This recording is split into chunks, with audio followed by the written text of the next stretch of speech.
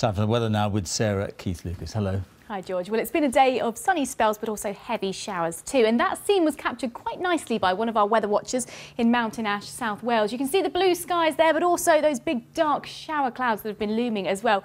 So heavy showers are set to continue through the course of this evening and overnight. We've still got low pressure firmly in charge of things out towards the east and rotating around that low pressure, brisk winds and heavy showers too. In fact, there could be severe gales through parts of western Scotland, Northern Ireland, through those Irish Sea coasts in particular particular.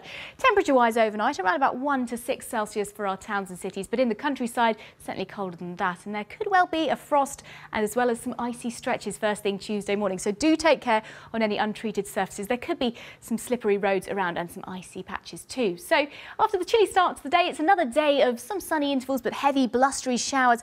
Heavy showers across parts of Scotland and they will be falling as snow on top of the hills. For Northern Ireland, there's a chance of seeing some hail and some thunder mixed in with those showers.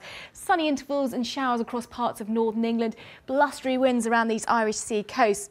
There'll also be a little bit of hill snow to come across central parts of Wales, but further south through southern and central England, Quite a bit of dry and bright weather to be seen here, but it will be feeling quite chilly, particularly where you're exposed to that northwesterly breeze. So a real wind chill in tomorrow's forecast. The heaviest of the showers rolling out of Northern Ireland in across parts of Wales and the Midlands too. Some hill snow for parts of Wales and for Scotland, but there will be some drier, some brighter weather with some sunshine as well, and highs around 5 to 8 Celsius, reasonably typical of the time of year, but things certainly turning colder through the course of this week, as you can see. So things are feeling more like winter and certainly less like spring. That's how it's looking. George.